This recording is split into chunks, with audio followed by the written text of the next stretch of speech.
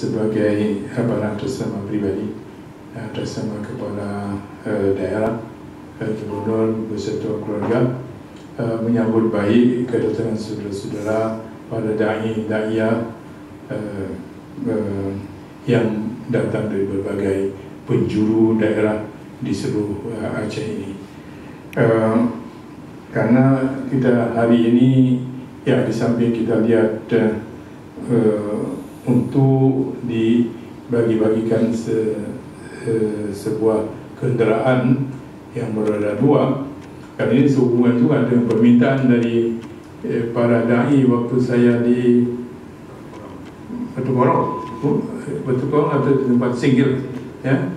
Yang mereka mengatakan kalau tidak ada sepeda pun jadi. Uh, saya sedih betul. Ya, dan ini saya uh, apa bicara-bicara uh, profesor. Uh, kita usahakan ya.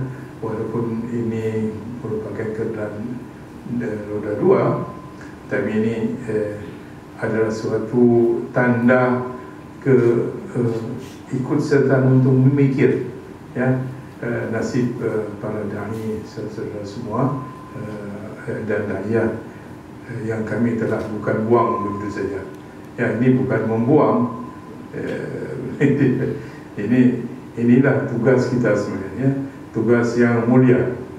Ya, kalau semua berkumpul di Banda Aceh, uh, itu tidak apa ya 100% apa nanti ibadah yang kita terima dari Allah Subhanahu Taala tapi eh, eh, yakinlah bahwa eh, saudara-saudara yang eh, bertugas di sana adalah untuk tugas mulia.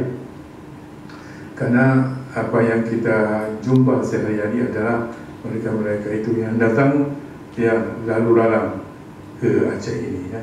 Yang mereka terutama datang dari uh, perbatasan perbatasan antara Sumatera Utara. dan